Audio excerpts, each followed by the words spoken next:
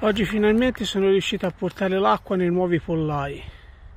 Dalla dorsale principale del vecchio pollaio mi sono attaccato, ho fatto una piccola diramazione e con un tio ho fatto altre due diramazioni, una al pollaio principale, che è questa, la cannella,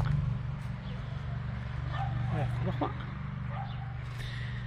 e altre due le ho portate ai pollai secondari. Uno che verrà usato per l'allevamento di una sola razza. Eccola là. E successivamente ho allungato la cubazione e l'ho portata al pollaio